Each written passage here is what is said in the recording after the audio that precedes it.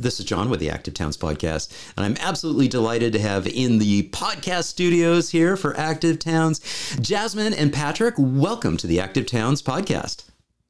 Thank you. Thanks for having us. Yeah, fantastic. Well, Jasmine, I'm going to have you kick us off here and uh, just take a moment to uh, tell us a little bit about yourself and uh, your journey to the the Oh the Urbanity YouTube channel.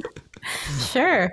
Uh, so yeah, we started a YouTube channel called Oh the Urbanity. Um, I believe it was in uh, June 2020 or around then. Um, just uh, we had recently moved to Montreal uh, from Toronto, and uh, we were just pretty enamored with much of what we saw in uh, in that city. Um, a lot of what we saw was different from other Canadian cities that we'd lived in, um, which I'm sure we'll get into in this conversation. Um, and it kind of inspired us to just share our experience of of moving around the city, uh, walking and biking, um, and and yeah, and here we are, a couple years later. Still couple years that. later. Uh, yeah. So, tell us a little bit about your background. Um, I, I, am not sure if you're, you're like steeped in in urbanism and planning and architecture and design and transportation. Uh, you know, where did you come from? What's your background? Right. Um, so I'm actually um, an English major. Um, I was pretty interested in um, languages um, growing up and then through through university um, and spent a lot of time studying french as well. So that was another um, super appealing thing about moving to montreal and living there. Um, but in terms of um, urbanism background um, both of us are are pretty uh, self-taught uh, just became kind of passionate and interested in it more recently like when we we both actually um, grew up in urban area or urban areas rural areas. Um, so moving to cities was i guess like sort of uniquely exciting to us and that kind of inspired us to um, you know look more into it uh, from different facet, facets and um, delve more into the research and stuff. But no no uh, professional background Interesting. That's fantastic. You know, you, you mentioned a rural area where you grew up. Yeah. Uh, uh, those terms mean different things to different people. Uh, where did you grow up? And when you say rural, what, what do you mean by that context? Yeah. Um, so I grew up uh, north of Waterloo, um, Ontario. Um, and it was a small, uh, small village. Um, so not, not, not like a farm.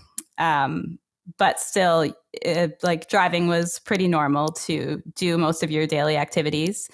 Um, uh, yeah so not the most rural i guess but uh, very small town feel Fantastic. That's great. That's that's interesting. That's fascinating. So yeah, I so I actually grew up on a on a ranch, a small ranch, and so uh, similar to Chuck Marohn, who uh, grew up on a farm uh, in in Brainerd, uh, Minnesota. You know, we have that that sort of you're a true rural kind of uh, you know uh, background, but it sounds like yours was a little bit more of a, a, rural sort of small village, probably surrounded by a lot of farms. Is that right, about right? Exactly. Yes. Ah, yes. Fantastic. A lot of farmland around. Yep. All right, mm-hmm. Cool. All right, Patrick, mm-hmm. we're kicking it over to you. Tell us about your background. Where'd you come from? So I grew up also in a small town, rural environment in uh, Nova Scotia on the east coast of Canada, about an hour north of the uh, city of Halifax. And yeah, very similar experience of a lot of the things that people in the city take for granted, like public transportation and the ability to walk places. That was just fundamentally fascinating coming from a small town, rural environment. Like you can, there is some level of walkability in, in small towns for sure, but you're dependent on a car in a way that you aren't necessarily in the city, and that is a lot of what makes cities fascinating to to us for sure. Um, in terms of uh, background aside from that, so I also don't have any professional background in urbanism. It's just uh, just an interest of our, of our experience uh, of our experiences of uh, exploring cities and, and looking into research and whatnot. I also have a background in the languages, so I have a, a PhD in linguistics, and that has given me quite a bit of good background for um, research and stats and some of that side of our channel. And that's, yeah, a, a, big part of what interested us about moving to Montreal. So we had lived in Toronto for a few years, and the, the, the main things that drew us to Montreal uh, were the, it being a French speaking city, primarily French speaking city, and wanting to get better at French And then we had visited quite a few times before Montreal, and we knew that we just liked the urban environment, the the, the more traditional uh, city design of uh, denser denser housing on a less car oriented um, transportation network, and we knew that we liked that sort of environment. And then it was after we moved to Montreal that we really experienced it more in depth and decided to say, "Hey, this is a this is a really unique place in North America for urbanism." And one of the I guess themes of our channel is that there are a lot of urbanist successes in North America. So lots of people like to point to the Netherlands, Denmark, other places in Europe, and obviously those places do you know bike culture, public transport the very best. But we also have a, a lot of examples in North America to point to, and so we were especially uh, impressed by the bike culture in Montreal, and uh, and also we found the the housing situation there very interesting. They have a lot of the, I guess you'd say, missing middle, what would be considered missing middle housing in, in other parts of North America, in between the detached home and the and the tall buildings. They have the you know three to four story walk up apartments, and that's uh, also something we've showcased on the channel. Yeah, fantastic. And and and I, we're, we're going to talk extensively about some of the content that you guys have out on your channel, and and really uh, you know give uh, folks who are new to to your channel a, a, little intro to it and all that good stuff. It, so it sounds like you both had you know that that commonality of you know the smaller you know sort of rural village uh, type of thing. I can remember you know even though you know, our our ranch was about two to three miles outside of the city center, the village center, and at the time there was only like four thousand, you know, population or whatever. But and it was a small country road to get in. But all my friends who lived in town, it was inherently very walkable and bikeable uh, just because the distances were so, so short and the traffic volumes were pretty low. Was that similar to your villages? We, we... Yeah, I, I, would say thinking back, I started biking to school in grade 4 mm-hmm, um, right. And it was, yeah, because you don't have, like, it, it was a car oriented place but it wasn't like a six to eight lane suburban arterial road. Right, right. Um, yeah, you, you could you could bike on the sidewalk as a kid and yeah. be like relatively fine. Like it, there's definitely room for improvement. Right. But it, it was more, it, it, was somewhat more naturally um, accessible to, to, to, walking and, and cycling than a, than a suburban area would, even though in some ways they looked similar. Right. You know, with like detached houses and large lawns and, and, and whatnot. But yeah, it was that, that definitely, um, that was definitely an influence and the excitement that you have when you're in grade four and you bike to school. right. Yeah. yeah. that that probably had an impact, a long term impact. Yeah, it's yeah. hard to it's hard to say for sure, but yeah. How far, how long do you think that journey was? How long did it take you? Oh, that was a while ago. Yeah. Um, and time changes for for us. You know, what seemed like yeah. maybe forever was like, oh yeah, that was like ten minutes. yeah, maybe twenty to twenty five minutes. I'm. It, it's yeah, pretty decent distance. Yeah, yeah, yeah, yeah. How about you, Jasmine? Were you, were you able to get around in your town where you grew up? Yeah, yeah, it was probably pretty similar to Patrick's experience where you mm-hmm. could, you know, walk to the corner store or mm-hmm. the hardware store. Like there were some shops that you could walk to. Um, but then it, it, depended a lot on where you went to school um, or, you know, where your job was, whether or not you have to hop in the car every day. Right. Um, yeah. Which we did because our school was about 20 minutes uh, drive uh, away. So, okay. Yeah. Yep. Yeah, mm-hmm. and was that a uh, just a function of not enough uh, population to to support you know the shorter distances? Um, there was a school in in my in the village that I lived in. It was just my parents wanted to send us to a different school. Got it. Yeah. Um. So. Yeah. Yeah. Yeah. Yeah. Yeah. And, and, and, in a recent conversation I had with Darcy Kitching, uh, she talked about that. You know, some of the the the ability to have school choice. You know, in Boulder, Colorado, right. really influences uh, an increase in motor vehicle traffic. Uh, you know, to and around schools as as parents are sort of customizing their kids' education and choosing choosing schools, and there's obviously pros and cons to to that. And and obviously, right. one of the cons would be an influx of cars coming right to the the school location. Yeah. Right. So yeah, for you sure. got to experience that personally. yes, exactly. Ride the cheese cheese bus, as they called it. yeah, exactly. Yeah, fantastic. Well, I, I want to shift gears and talk a little bit about um, you know some of your your your journeys. Now, when when you think back to um, that sort of that moment when um, you, you, you sort of like started thinking about the urbanism you, you'd mentioned that you started the channel in 2020 um, you, july right 2020 I think so. Yeah. Yeah. June, June or July. June yeah. or July, right in that mm-hmm. time frame. So we're in the midst of the pandemic. so yeah. uh, what was what was that event that really was just like, yeah, we need to do this. We need to start talking about this look backwards in time just a little bit before you started the channel. What what got you thinking about we need to talk about this? What was the aha moment for you? So we actually kind of started out talking about learning French in Montreal. Uh, we did some videos on on uh, you know is Montreal a good place to learn French, um, things like that, and, and and that was I guess what really got us started. But we were also thinking about um, so summer of 2020 you do a lot of biking, bike trips because uh, because of the pandemic, and a lot of our very early um, videos were on bike trips around the Montreal region, like day trips, weekend trips, things like that.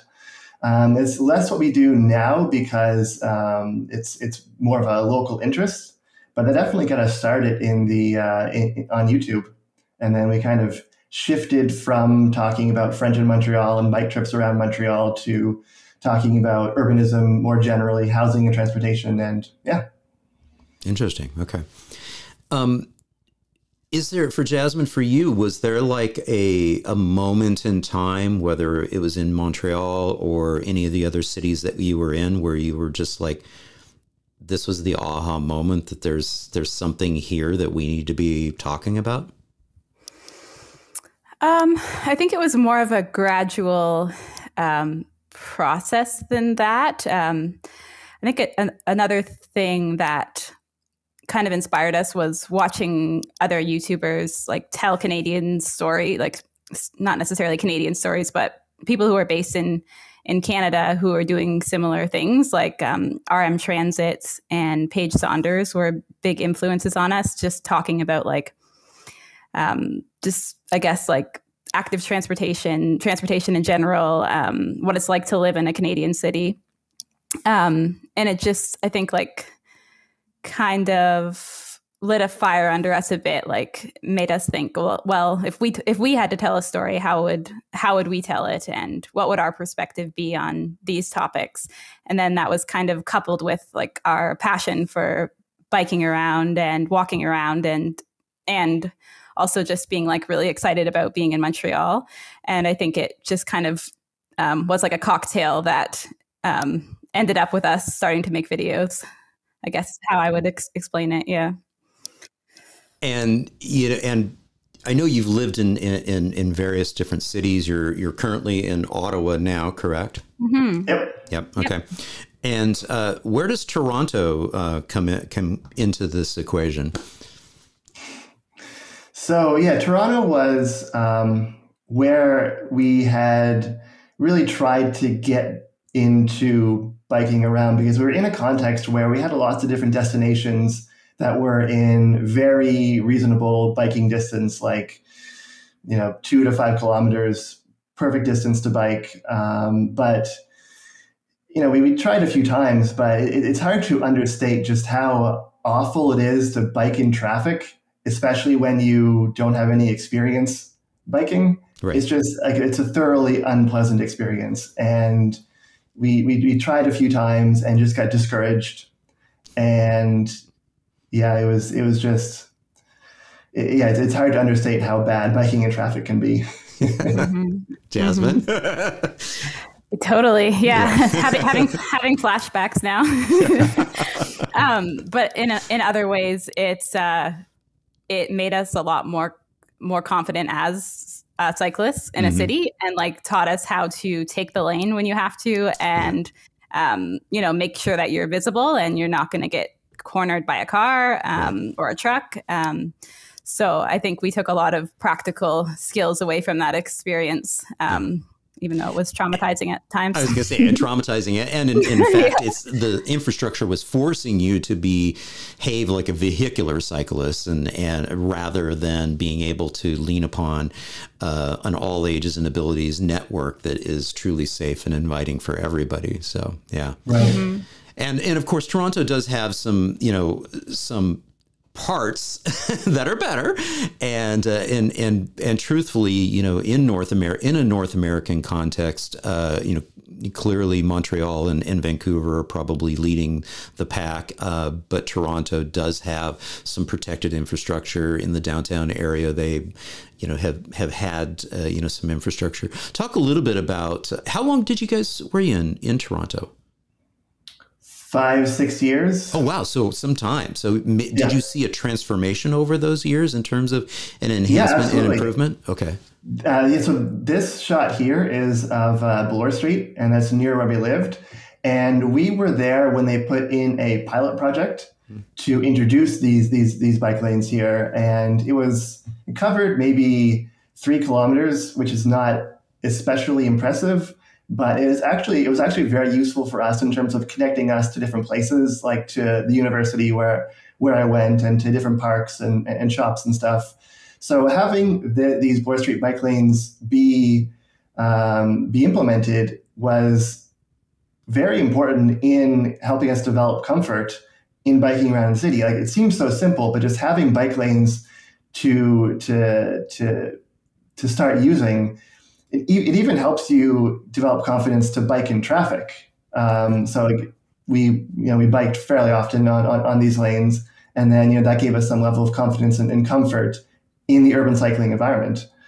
And yeah, so the the Bloor Street bike way, bike lanes were a pretty big factor in us getting uh, more into more into cycling. Yeah, yeah it's interesting that you, you you talk about the the fact that you know having this infrastructure you know helps give you a little bit more confidence to be able to uh, deal with uh, environments that are a little less inviting. Uh, Jasmine, for you personally, how you know how did that sort of manifest itself? Was it just the fact that you were able to ride more frequently, and therefore you wanted to ride more frequently, and and therefore have a little bit more confidence over time? Yeah, I think so. I think just knowing that you have a, a like a route that, that you're aware of, even that will be partially protected, right. is a very big uh, factor. Um, you know, you just you just know, oh, I just go out to this this major road, and then I'm I'm okay. And um, I guess like slowly you you start like developing your own routes um, and knowing where to go and stuff. But I think yeah, having that major artery there um, that will take you to a lot of useful destinations, like Patrick mentioned, is um, yeah, really, really big factor. Yeah, yeah, mm-hmm. it's good stuff. Mm-hmm. So when you look at your your your your transition, so it was Toronto, then it was Montreal, then Ottawa. Is that how it went? Yep. Okay. What prompted the move from from Toronto to to Montreal? Was it diving into the the language stuff and, and job related? So that was, um, I just finished up uh, my degree at the university and we had our uh, sublet, our lease um, expired. Ah, so we okay. had to move somewhere. We had to move somewhere. And uh, you know, it, was, it was a mixture of Montreal being appealing for the French, okay. being appealing for the urbanism, and it being much more affordable than Toronto. Oh, okay. Because okay. Toronto is uh, is quite an expensive city to live in. Um, Montreal is getting worse, but it's but it's still better than Toronto for for affordability. So those those three factors uh, drew us there, and we knew that we just wanted to live there for at least some period of our life. Yeah, uh, yeah, because we had visited so many times before, and we knew it was such an appealing city for us on so many different dimensions. Yeah, that, that, that's to, exactly what I was going to ask. Is like, had you been visiting? you know, yep. yeah, fantastic. All right, great. Mm-hmm. So, um, Jasmine, for you, you know, what, what was that what was that move like? I mean, I, I've visited both cities. I haven't spent a lot of time there, but I would think that culturally it's a little bit different too. Yeah, uh, it definitely is. I guess having a lifelong interest in in French and really liking Montreal, yeah. um, it kind of felt more natural to me. Like I guess I feel like I have a bit of the that French culture in my uh, in my blood, maybe. Yeah. Um, so yeah, it didn't feel. Yeah, it, it felt exciting, okay. really, for me. Like, um, and and there are aspects where you where that challenge you, like um, obviously not being a um, like completely bilingual um, make make some interactions harder, and like that's part of the excitement for me. But also, right. it can it can be challenging, um, and you can beat yourself up a little bit if you feel like you're not performing well at speaking French. Um, yeah. So so things you kind of have to keep in check, I guess. Yeah, um, yeah. Uh, so yeah, challenging in, in some ways, uh, but also like really rewarding and just really fun to to be there and experience kind of yeah. how people live there and yeah and the mm-hmm. image that we have here, of course, is is of the uh, the cycling infrastructure. And uh, what was that like for you? Okay, so you're leaving Toronto, and we have that horrendous image of all the cars on, uh, you know, there at the at the Bloor intersection, and then we kind of go to the next level of there's this improvement, but then you get into Montreal, which arguably has one of the most well built out um, at least cycle track, uh, two way cycle track network in North America. Uh, what was that like for you, Jasmine? You know, making that transition from Toronto to, to Montreal, you know, at least from a comfort perspective. How, how did that feel for you? Uh, really, really awesome. Honestly, um, it's uh, yeah, it just made everything so much easier. um, in a lot of ways. And we lived in the the plateau, which is a, which is a, probably the best area for cycling too. Um, so that made a big difference. Um, yeah, it feels safer. You see you see a lot more different types of people out cycling all the time. Um, you know, more families out. Um, and yeah, it's just it's just normal, I guess. There, like it's a lot more normal to hop hop on your bike. Yeah. Um, so you so yeah, you feel like invited and and you feel you feel like one of the normal ones there, I guess. yeah, yeah, exactly. Yeah. And this is like a, a fun little um, overhead shot of you know these the, the, the unique housing types that are you know part of the the Montreal thing, and and a lot of your content that you uh, you know create is is you know hence the name, Oh the Urbanity, is urbanism related. Uh, talk a little bit, Patrick, uh, about this particular image and why it resonates so profoundly with you. So in in much of North America, we think of housing like you you live in a detached suburban style home, or you live in a high rise condo or apartment tower, and we've kind of lost the sense of there being a middle ground between those. And those types of housing, like they can be perfectly fine in many contexts but it's also interesting to look at, you know, what does uh, dense but short housing look like? like? Like what you find in, in much of Europe. But it's just kind of outside of our consciousness in, in North America. And Montreal is, um, as, a, as an older, um, you know, Eastern city, you know, city on the, the East Coast, um, and having a somewhat different cultural background and influence, it is it's mostly these types of missing middle um, this type of missing middle housing. So most people live in you know two to four story small apartment buildings called uh, plexes, and they have lots of interesting characteristics. Um, most people notice the external staircases on, on, on, the front, and you can't quite see them that well in um, in, in, this shot.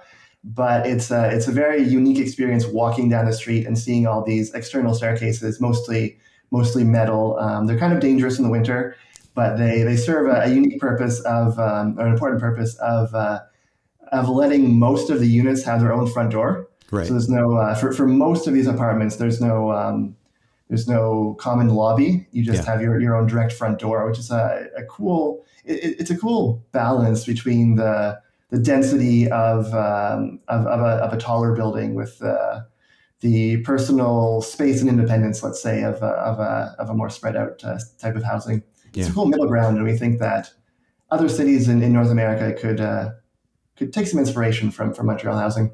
Yeah, you, you use the D word Density. Density. Yeah. I, I, look at this and I think, uh, I do think of European cities. I think of Paris and, and other places where that concept of gentle density, in other words, you don't have to go directly from a single family home to a, a 30 story, you know, uh, luxury condo complex or, or, you know, 17 story, uh, low income housing you know apartment complex. I mean there's there's this wonderful aspect. You mentioned the the term missing middle. There's this missing you know middle zone of anywhere between you know 3 4 all the way up to you know 5 and 6 stories in uh, in Paris. You see that a lot. And uh, Jan Gehl in his book uh, Oh, Cities for People, I think is the actual name of it. You know, he talks about that six six stories being what that sort of upper limit where you can still go out on your balcony and then make eye contact with people on the street and you can see facial expressions still. So it's of it seems like it's built at human scale. So when I looked at your your image that you sent through, I just smiled ear to ear. I was like, "Yes, that's awesome!" It's and it's one of the most um, wonderful and beautiful aspects of Montreal uh, that you know, and I've I visited in the summertime for um, the uh, cycling events that they had. So the Tour de uh, Louis and and Tour de, de Ile, uh, you know, the Friday and Sunday events, uh, fabulous. I'm I'm suppo- I'm thinking that you're, nodding, Jasmine. You probably mm-hmm. Uh, were able to participate in those events or at least see them.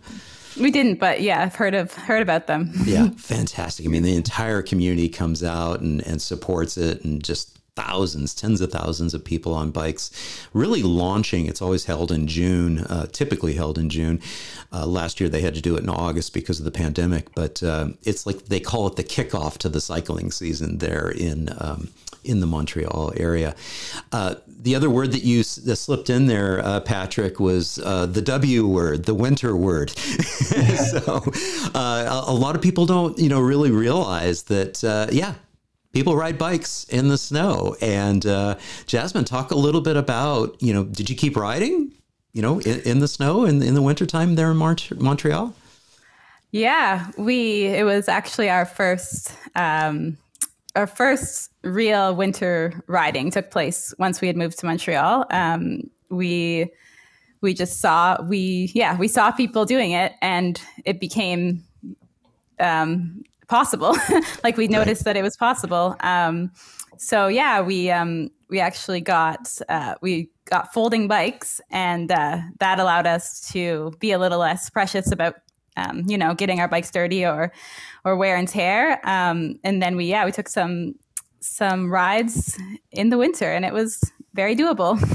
yeah, yeah, that's fantastic. And uh, yesterday, uh, we're, we're, recording this on Saturday, uh, June 11th, and yesterday on uh, Friday, the, the 10th, I uh, did a, a wonderful premiere with uh, Pekka Tahkola from Oulu, Finland. And so we talked a lot about winter riding, and he has a wonderful YouTube channel that we'll make sure that we have a, a link to in the in the show notes in the description below to his channel as well. But they talked a lot about how they really try to make sure that on the winter maintenance perspective, they dial it in so that you don't see that huge drop off of uh, participants, you know, being able to feel like they're um, they're in, you know taken care of.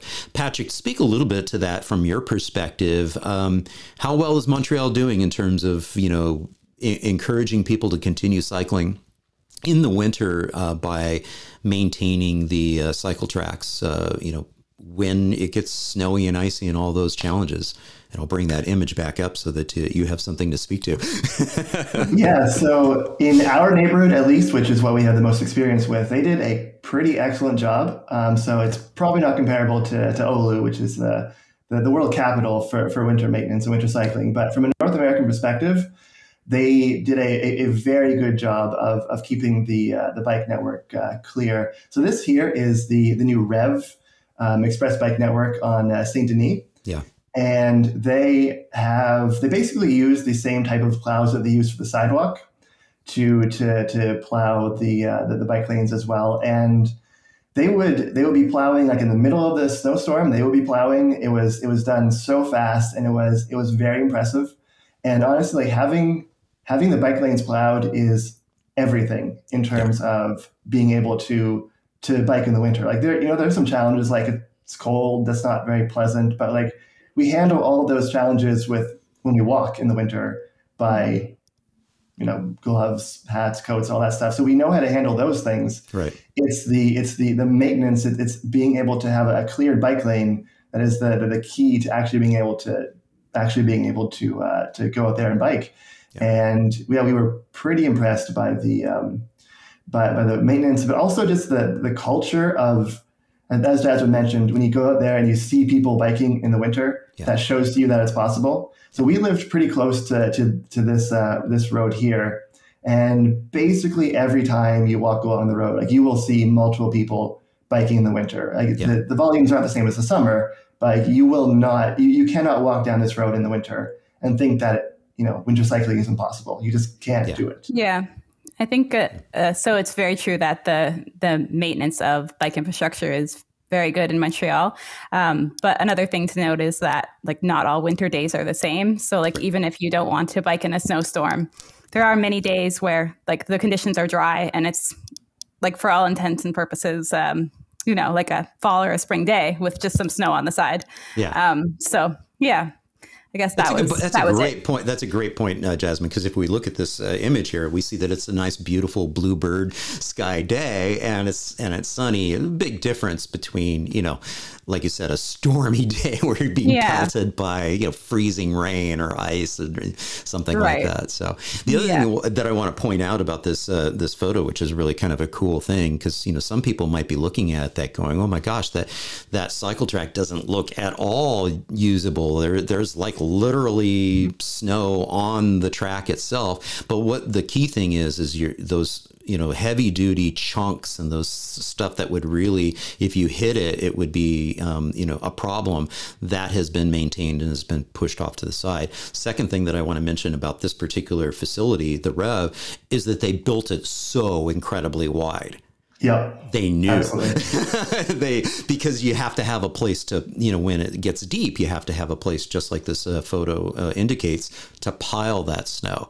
Uh, and as you can probably tell, even though I live in in uh, Austin right now, I have lived in uh, snowy places, including Chicago and Boulder. So mm-hmm. I, I, do have uh, an appreciation for that and riding right. a bike in those areas.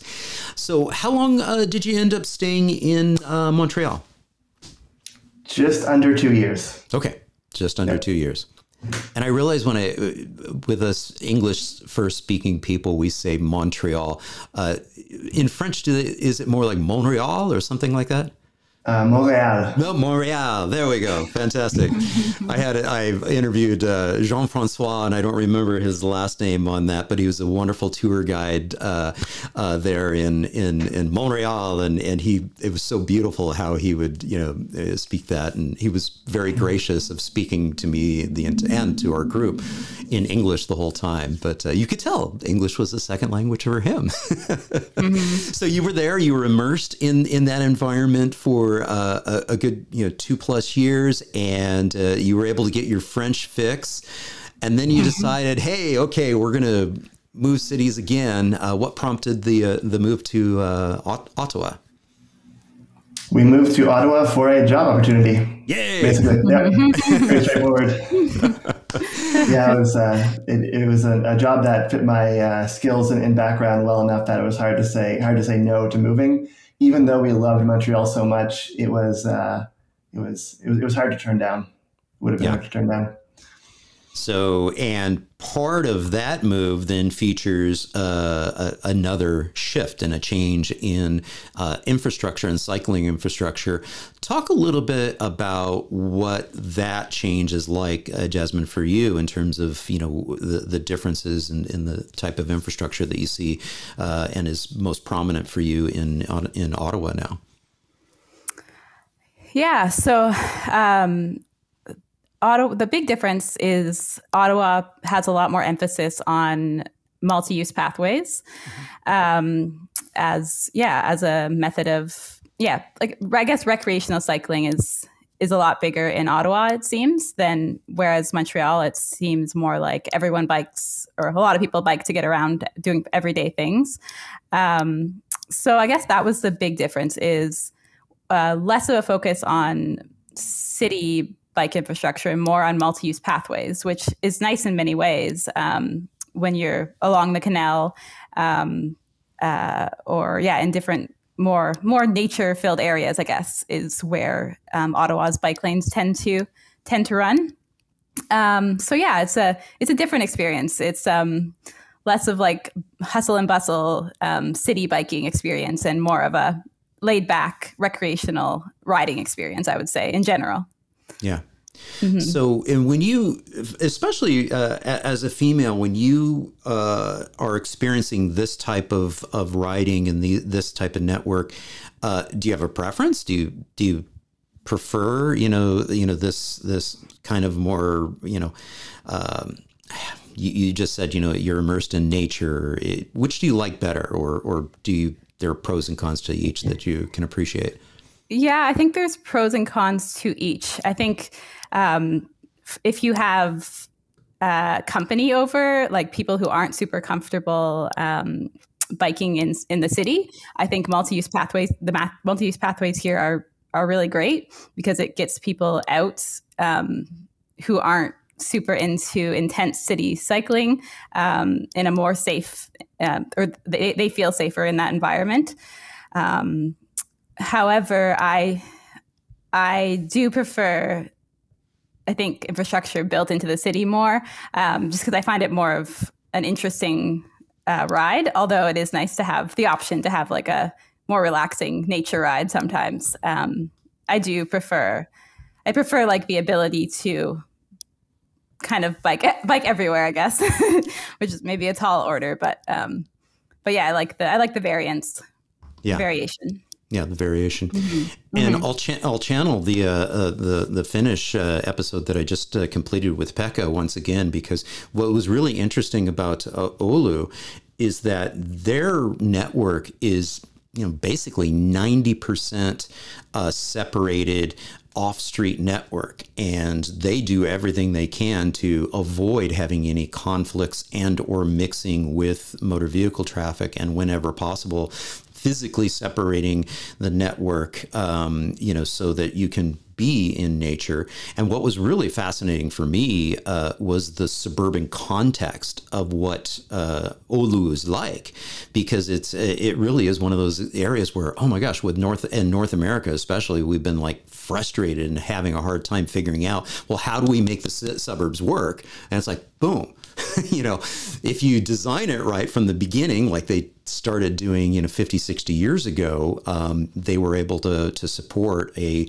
uh, a suburban context and have uh, all of those uh, cul-de-sacs penetrated by walking and biking, uh, you know, cut throughs and into a network of multi-use paths.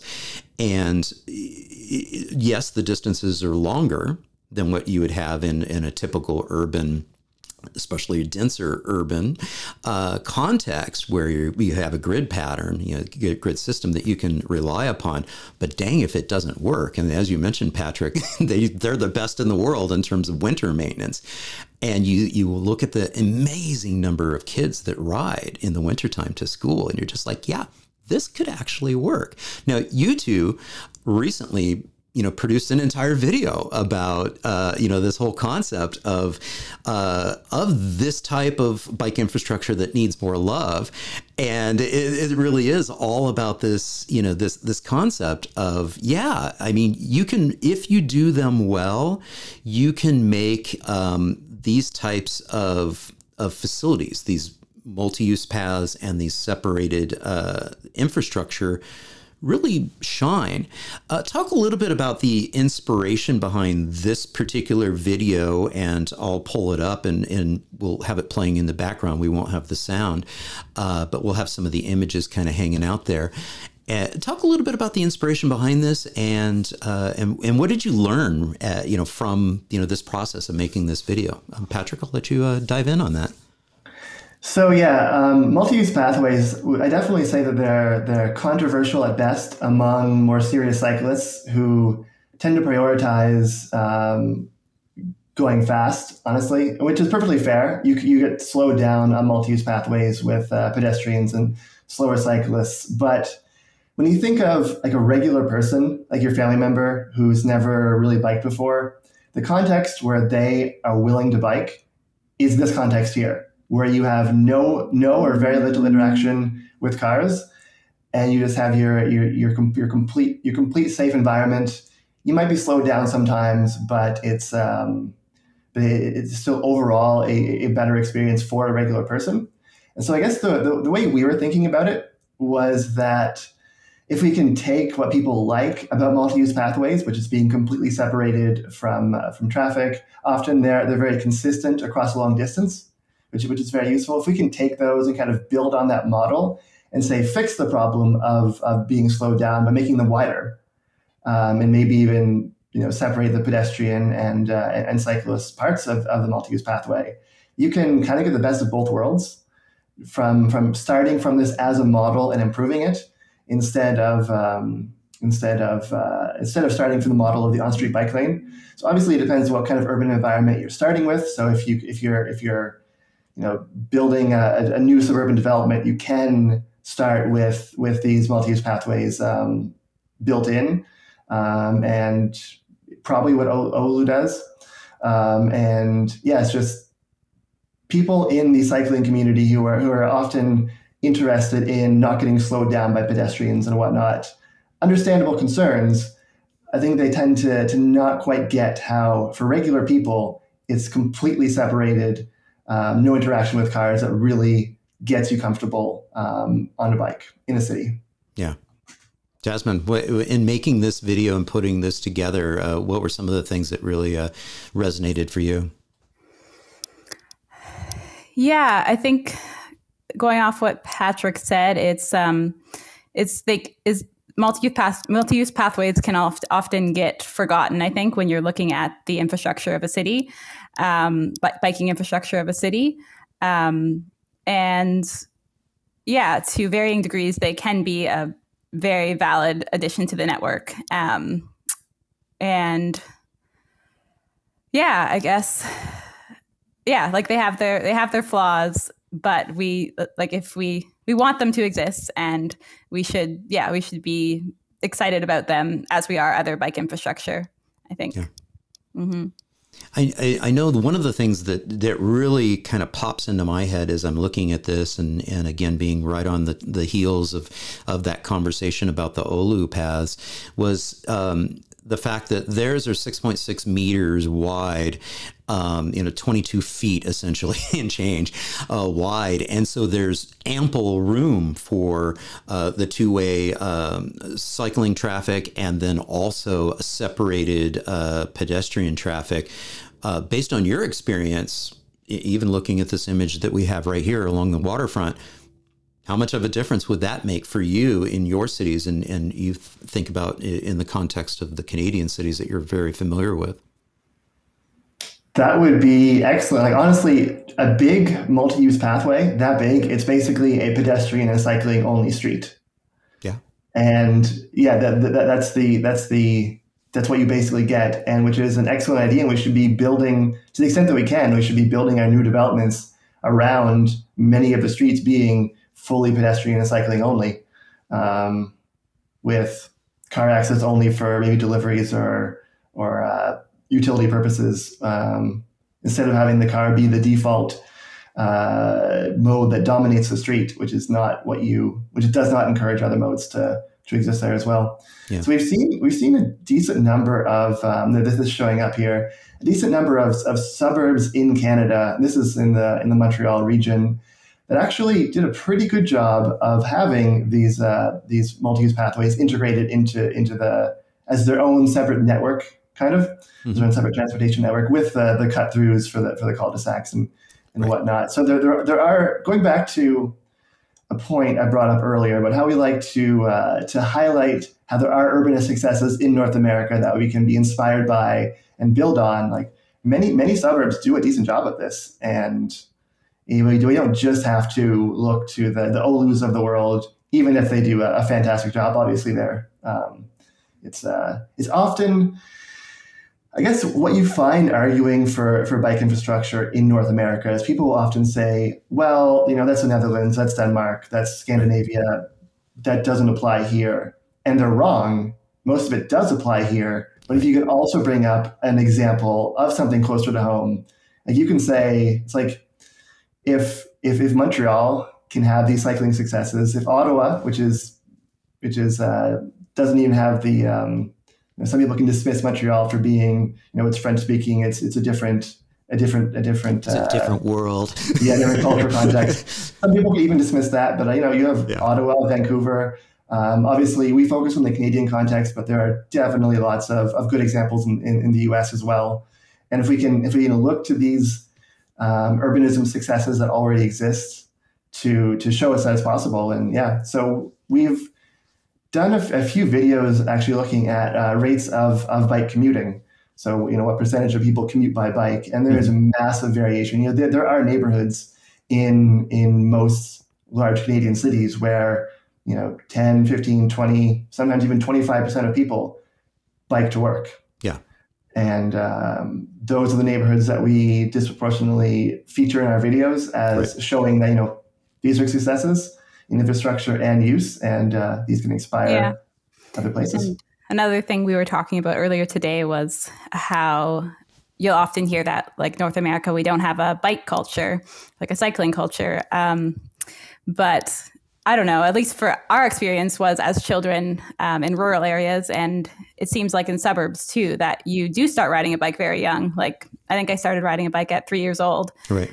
Um, and so it's like most people have the experience of of riding a, their bike as a kid at least. Yeah. Um, so it's really just you know continuing like staying staying on your bike yeah yeah well one of the phrases i use uh, and, and i coined um, probably over a decade ago uh, as part of the active towns initiative is is a culture of activity and and really you know my intersection, my background is in health promotion and disease uh, prevention, and the intersection of how our built environment includes or, or encourages and promotes a, a, culture of activity.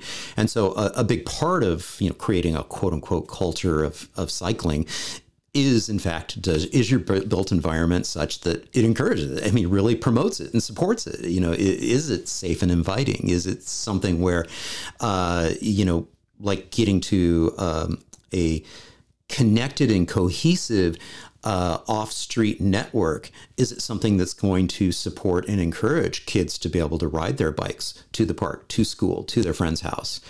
Those are, are, are critical um, infrastructure and built environment, um, you know, features that you know have to be part of, of our community. And um, what's interesting about your channel and, and we pop over here to your landing page for the oh, oh the urbanity channel. Um, you guys are awesome man. You're you're you're, you're cranking this stuff up. Uh, I mean, this it just blows me away. You just started this in 2020. Um, I started the podcast, uh, Active Towns podcast, in 2020 as well. It was a pandemic project for me, and I'm like, okay, I'm I can't be continuing to travel around the world filming my documentary that I was working on. Ah, I guess I'll do this. Um, uh, so I love your channel, and what's really really great about it is uh, also seeing sort of the evolution of your channel and some of the the earlier stuff that you did. And it seemed like and you can correct me if i'm wrong it seemed like in the early stages a lot of the videos were very um, were very transportation oriented and very uh, you know talking a lot about the cycling routes and everything. And then it's shifted even more into uh, really diving deep into some of the um, the intricacies of of urbanism, and in fact, your most recent one with the the anti planner and talking, you know, about O'Toole and all that. Uh, Patrick, why don't you talk a little bit about that evolution from your perspective of the early days and, and kind of where you're at now and the content you guys are producing?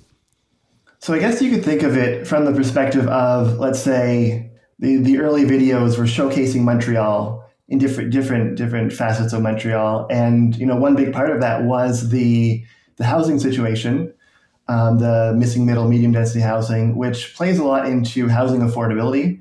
Because traditionally, as, as I mentioned, Montreal has been more affordable than other large Canadian cities.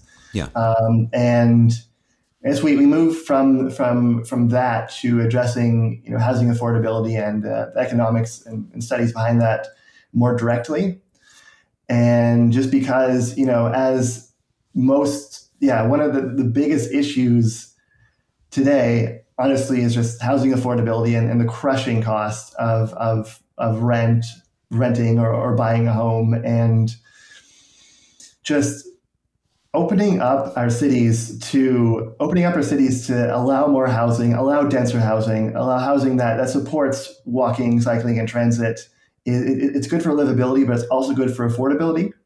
Um, if we, you know, stop requiring so much parking in, in, in, in new houses in hey, we buildings. made it. How many minutes did we make it? We made it five, 55 minutes before the word parking came up. Yeah. the interesting thing is that most people, I think most regular people, just yeah. they just think that the, the suburban style landscape that we have in North America is just that's the that's just how cities naturally turn out. Yeah. And whether you agree with it or not, it's important to understand that that is the, the result of lots of, of laws and policies saying, you know, you have to have a big yard. You yeah. cannot have a duplex here. You can't have a triplex. Um, you have to have parking for this number of people at your store using weird um, made up formulas for, for applying a certain number of uh, parking spots to a certain different types of stores.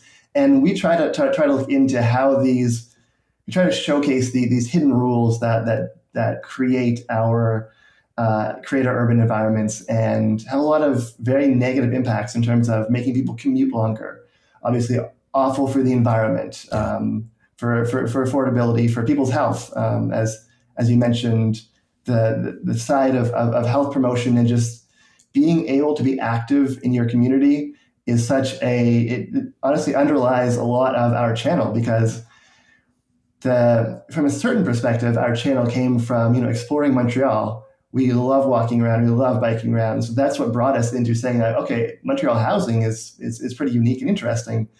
And so, um, yeah, just being able, have, having the city that encourages you to walk and bike around is just, it's like, it, it's just amazing for your mental and physical health in a way that we, in a way that city planners, especially in the more traditional style, just have not recognized. Yeah. Yeah it's funny, you know. It's I, I always laugh, you know, because it, I joke about parking, you know, coming up because it comes up a lot. and uh, you know, a previous guest on the podcast, of course, was Donald Shoup, the the author of uh, the fabulous book, The High Cost of Free Parking, and he loves to say that you know, free and uh, inappropriately priced parking is like a fertility drug for cars. It just it, it, encourages more and more driving and all of the other things that you just mentioned in terms of the its insidious nature of encouraging more and more and more cars, more and more driving. Um, it, what's interesting too is um, when we look at this, you, you, talked a little bit about you know the the housing challenges and the housing cost and, and how much that you know inspired um, a little bit of the direction that you have uh, you know ended up taking, and uh, that because that's the other side too is if if we if we don't get the the safe and connected, cohesive, uh, you know, networks of bicycling infrastructure that makes uh, reasonable distances possible to meaningful destinations for people walking and biking um, then you, you need to have a, a, different model. You know, if you can't have those, you know, the the Oulu type, uh, um, you know, connected, separated pathways, then you have to do the other model that we were talking. You were talking about there, Jasmine. Of you know, you need to have a, a, safe, inviting network within a more urban context, and you know, and then that brings us back to, uh, you know, that gentle density that we were talking about with the image, you know, of of Montreal. Um, when you look at some of your uh, more more recent videos, Jasmine, um, and where the channel has kind of gone to recently, um, from a content creator and somebody who's not coming from this background. And that's I, I, love emphasizing the fact that you guys are fresh blood. You're like new energy to you know for those of us who've been working in this stuff for decades and decades and decades it's so cool to see the fresh content the fresh energy and the fact that your channel is blowing up. I mean well over 30,000 subscribers so far. When you look at the that most recent you know content that you're creating in this in this new realm what has you most excited excited what, what gets you you're like patrick hey we need to do a video about this uh, talk a little bit about that what's some of the stuff that gets you excited in terms of the the content that you guys are working on these days I think there's a, a lot of topics. Like, I think housing topics are the most prominent right now um, because it's an issue that everyone is dealing with. Um, uh, and that affects everyone's life, um, not being able to afford housing.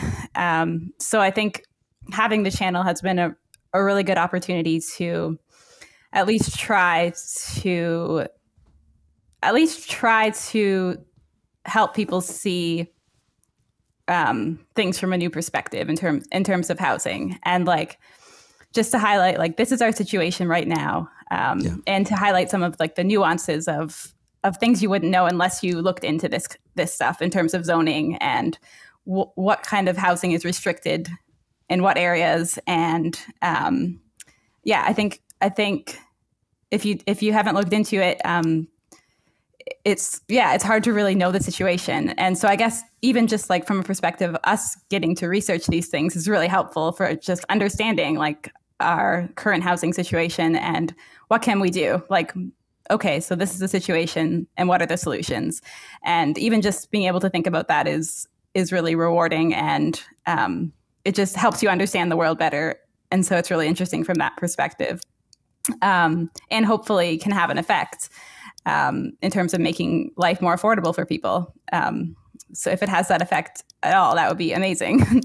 um, but in terms of other topics, um, yeah, I guess just just many things about walk walkability. Like walkability is a huge, uh, I guess, focus of mine. Um, just like how can we make how can we make it better to just like walk to the grocery store and not have hostile interactions with cars um, things like that. Um, and I guess just trying to look at look at these topics from a, like you said, like hopefully a fresh fresh perspective of like you know kind of being outsiders to the urban planning world. Um, but yeah, and just our own experience of walking around and yeah. So I guess that's what that's what's the most interesting. Uh, just like everyday observations that we have from moving around in cities, and then like how that relates to the broader context of of housing and other policies. Yeah, yeah. Yeah. And again, just the fact that a you, you, you don't have formal training in this, and you don't have a deep steeped background in, in this area, um, and you you sort of went down the rabbit hole, you know, and uh, and started you know getting you know ver- well versed in this and you guys do excellent research and you are well versed in this stuff which is super super cool. But it's got to seem like you're drinking from the fire hose at times. Patrick speaks to, to that a little bit and, uh, and and sort of pivot a little bit and talk about this which is one of your most recent videos that's doing quite well and and what you guys were uh, trying to really drive home on this. So i guess one of the, the, the fundamental the fundamental issue that we that we focus on is how you cannot avoid the fact that if we want housing to be more affordable, we have to build more housing. and there are so many different ways that people try to obscure that fact or they're, they're, they're, not aware of the of the research and the studies showing that there is a very very clear connection between you know housing construction some places so like in in Texas, um, despite all the, the issue, many issues with sprawl, they do a pretty good job of building new housing. It's not necessarily the, our preferred type of housing, but setting that aside, and as a result, you know, Texas is is is more affordable than you know a place like California, which makes it harder to build housing. And yeah, in, in, in this video, we try to show, we try to address some myths about uh, about about housing. So you can see here pretty clearly that you know, if you have a low vacancy, most of your apartments or houses um, use occupied, and it's, it's hard to find a it's hard to find a place. That corresponds to high prices because you know if, if a landlord has you know dozens of people applying for the same apartment, they decide the price. They can discriminate on other factors too, um, and basically, uh, you know, if, if you are hoping to get an affordable, uh, decent place to live, you don't want to have to compete with a bunch of other people for the same for the same home. And yeah, we also try to, as um, inspired by this uh, heading that just came up, we try to, I guess, broaden people's perspective when it comes to housing affordability. So a lot of people just forget that renting, that a lot of people rent. Uh, they have, you know, a lot of cases good reasons to rent, and people just think of, the, of, of, of affordability in terms of the price to buy a home. And you know, it's it's understandable that lots of people prefer owning. That that's perfectly fine. But you know, when we talk about, let's say, like get housing investors out of the market, they should stop buying up uh, buying up homes.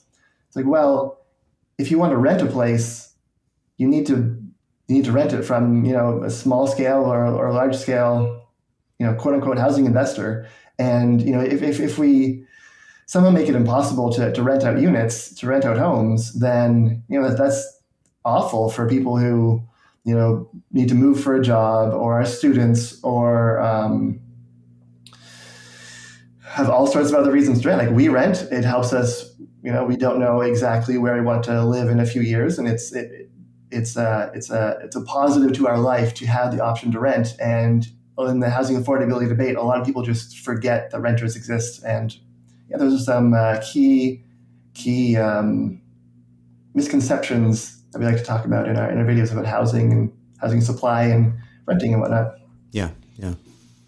And and Jasmine, you mentioned it earlier too. Uh, it, it's like you know what what are the zoning laws and what is allowed to be built is is a big part of it. And uh, so often in North America and and many many cities around the globe, um, you know, we've made it difficult to build that middle missing middle housing and the the, the high housing types and uh, you know one of our biggest challenges here in Austin is it's really easy relatively speaking, if you have the funds, uh, to build luxury uh, towers and luxury condos that uh, will eventually sell, you know, between, you know, three million and you know, ten million dollars, and it, it, and they're you know maybe occupied you know a few weeks out of the year, uh, versus it's really really hard for us to do that beautiful missing middle you know fourplex you know type things and the and the and, and the four story stuff in in a region that's adjacent to single family households, and so it's it, it's tough. We've done it to ourselves by